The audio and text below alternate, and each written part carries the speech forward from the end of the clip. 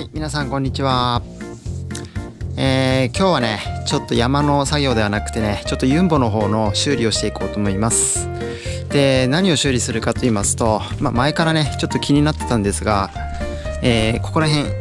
分かりますかね？ちょっと見にくいんですけどこれオイルなんです。オイル漏れしてます。でここにもねはいオイル漏れした後。でここから伝ってね、えー、こうきます。でまずね何が原因かっていうのはもう見てるんですが、えー、これはですねここの操作レバーのねここです。はい。ここあのパイロットバルブっていうと思うんですけども、えー、このパイロットバルブのね、えー、ここの、えプッシュロッドっていうのかな、えそこからねオイル漏れしてます。でなんでかっていうとおそらくねあのスケルトンバケットで毎回こんなガチャガチャやってるんでここのシールからね多分持ってきてるんですねオイルが。でこっちはねスケルトンバケットで、えー、使わないレバーなのでこっちはねほとんど漏れてません。なぜかねこっちからこうにじむっていうのかなうん感じで出てきます。でそこからね、えー、こう伝って、えー、下の方に落ちると。いった感じでね、え前から気になってたんですが今回ねちょっとこちらの方修理していこうと思います。で一応ね部品がねそこでいいのかわかんないけど一応ねえー、取ってあります。オーリング。はい。これパッキンなんですけどね、えー、そのパイロットバルブの中に入ってるパッキン、えー、これをね、準備しましたので、まあこれで合ってるかわかんないですけど、まあちょっとね、分解して、えー、パイロットバルブね、中の方のオーバーホールというか修理ですね、えシール交換していきたいと思います。まずちょっとそこのね、カバーの方開けていきたいと思います。はい、じゃあ今ね、えカバーの方外しました。で、えおそらくね、ここここかなと思います。ここからねもう滲んでくるので、えー、この中のシールがね多分ダメになってると思います。でここから伝ってね、えー、ここら辺のホースもね濡れてます。でこのホースはね、えー、前回漏れてないのは確認してたのでおそらくねここでいいと思うんですが、えまずねどうやって外すかなんですよね。えーひとまずねちょっとレバーをねこれ外していきます。でこっちはね今回漏れてないんですがオーリングね、え左右分全部取りましたので、えー、8個ね、プッシュロット8個ついてますんで、えー、片側にね、4つ。うん。で、合計ね、8個使いますんで、えー、これをね、ちょっと左右ともレバーの方ね、外してみたいと思います。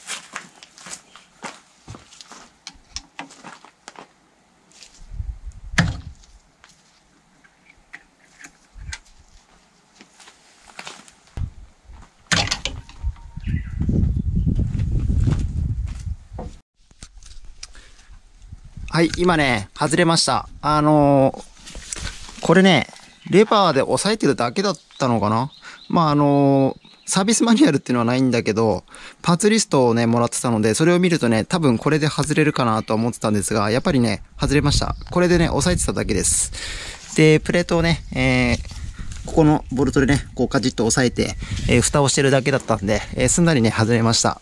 で、これがね、なんていうのかね、えー、プランジャーっていうのかな。えー、さっき今ね、外した、えー、プッシュロット、これをね、押すと、中の色をね、こう切り替えて、で、こっちのね、油圧を出して、えー、そっちのね、コントロールバルブ、えー、コンバルの方にね、えー、行くという風な原因になってると思います。じゃあこれのね、シールを交換すれば大丈夫ですね。うん。構造的に、もうこれ以上、シールがないのでね、えー、シール交換だけでいけると思います。はい。で、えー、今外したのがね、こちら、えー、8個分外しました。ので、これをね、えー、ちょっと洗浄して、えー、この新しいね、えー、オーリングにね、えー、交換していこうと思います。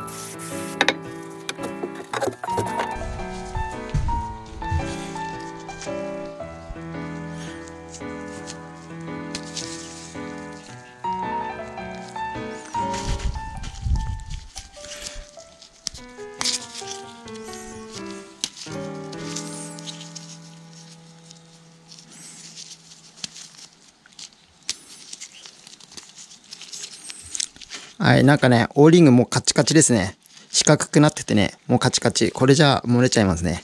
はい、全部外していきます。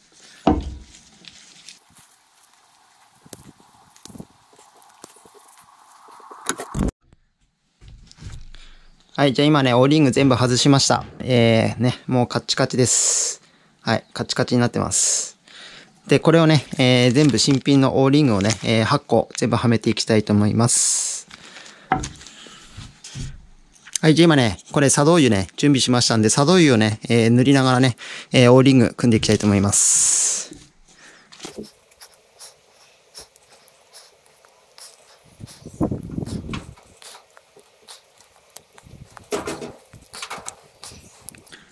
はい、こんな感じですね。じゃあね、これを8個全部組んでいきます。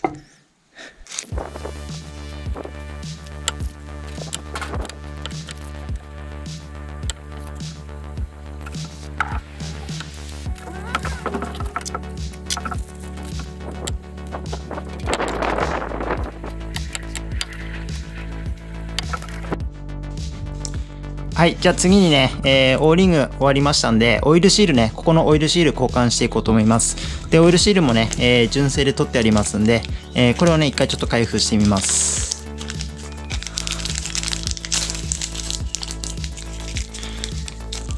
はい、これですね。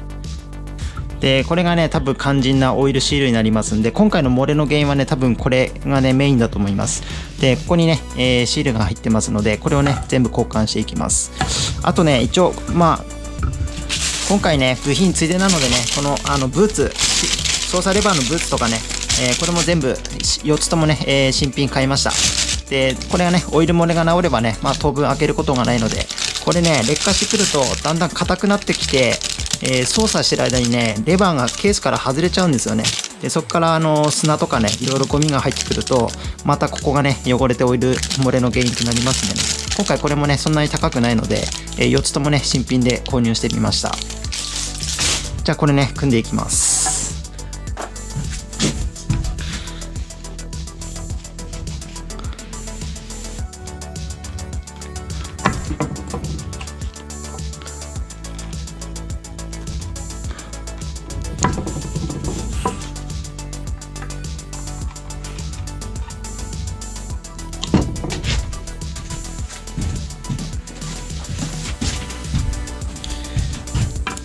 はい、ちょっと今取るの苦労しましたけども、えー、こんな感じでね、入ってます。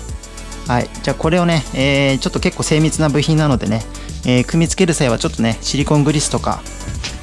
ね、えこういったものを塗ってね、組み付けた方がいいと思います。試しにね、1個組み付けてみます。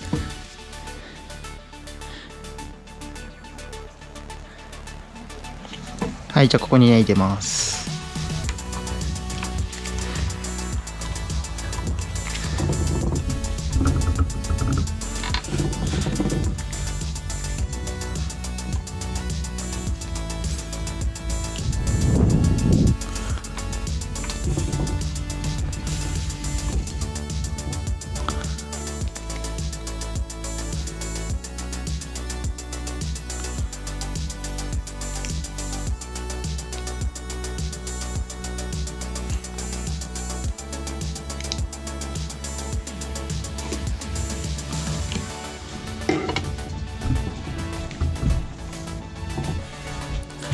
はい、じゃあ今ね、組みました。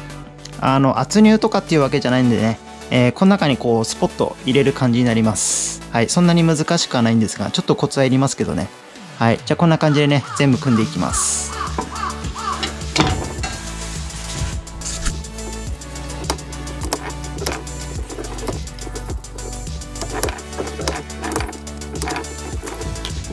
はい、もうね、カッチカチです。硬くなってます。ポキポキ割れちゃいますね。はい、もうこれ交換です。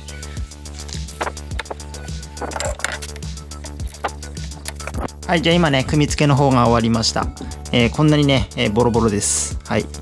何箇所かから漏れて半分ぐらいかな漏れてくるとこと漏れてこない場所あったんですが多分ねこのまだ若干柔らかいやつは漏れてこないんだと思いますでこれはねもうカチカチになって手でポキって折れちゃいますんでねはい。こういうのはね、多分すぐ漏れてくると思います。まあそんなにね、高い部品じゃないので、一緒に交換した方がいいと思います。で、これね、あの、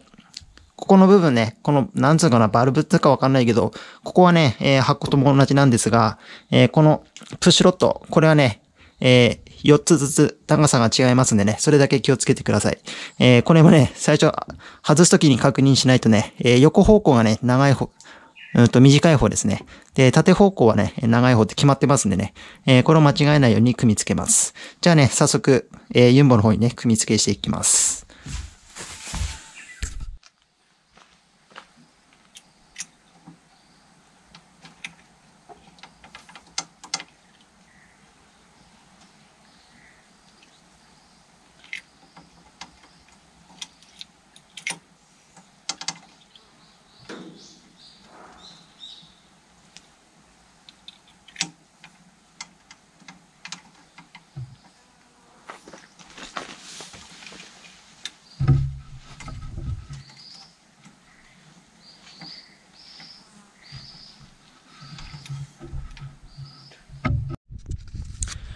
はい、今ね、なんとかね、4つ入れました。えー、結構難しいです。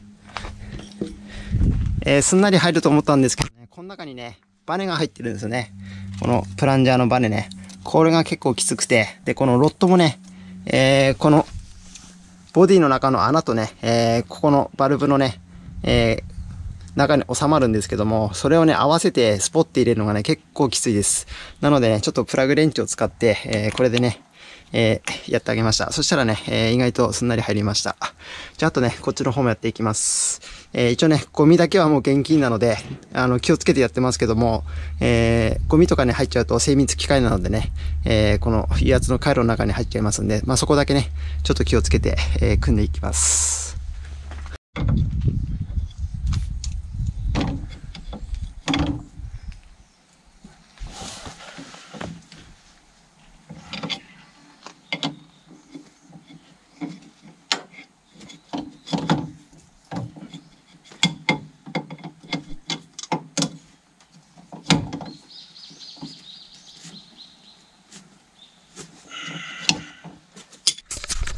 はい、じゃあ今ね、えー、ようやく組み終わりました。えー、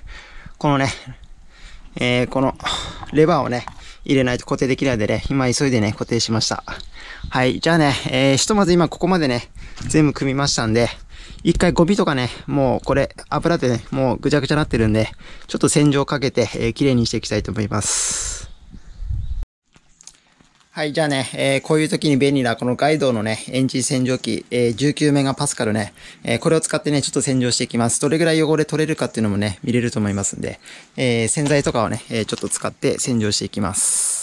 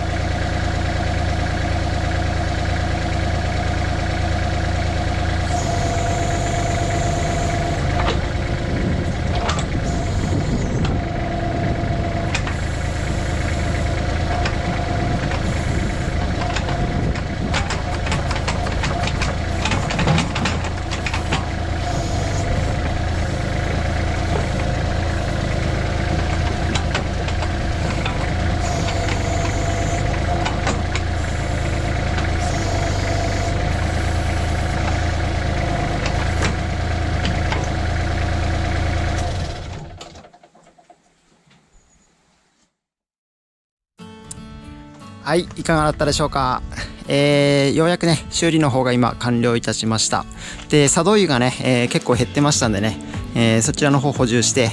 今ね、ちょうどフルのレベル、ちょっと見にくいんですけどね、はい。えここにね、合わせました。大体ね、目安にしとくと、まあ次ね、見た時にどれぐらい減ってるかっていうのがね、え分かりますんで、そうするとどこからかね、えオイル漏れしてるとか、まあそういう目安にもなりますんで、で、一応洗浄したところはね、え今こんな感じです。はい。はい、めちゃくちゃ綺麗になりました。はい、こんな感じです。で、今作動確認しまして、えー、問題がないのね、確認しましたんで、はい、じゃあこれでね、ちょっとしばらく使っていこうと思います。で、ちょっとね、しばらくここ開けたままでね、やろうかな。オイル漏れしてるかどうかをね、ちょっとまた確認したいので、えー、ちょっと何日間からね、ちょっと開けたまま、えー、操作してみようと思います。えー、綺麗に洗うのはね、えー、もちろん大事なんですが、えー、次ね、オイル漏れしてきた時とかわかんなくなりますんで、やっぱりね、一回修理したらね、えー、綺麗にするのが一番いいかなと思います。はい。じゃあね、え、今日はこちらパイロットバルブの方のね、えオイル漏れということでちょっと修理の方してみました、え、次回がね、え、もうちょっと大掛かりなね修理が待ってますはい部品はねもう取り寄せしてますがなかなかやる時間がないのでね、え、多分1日かかるかなかわかんないですけども、えここに山にあるねえー、まあ設備と工具だけでできるかちょっとわかんないですけども、まあ、頑張ってね次もやっていきます。またねちょっと楽しみにしていただければと思います。はいじゃあ今日はねここまでにしたいと思います。ありがとうございました。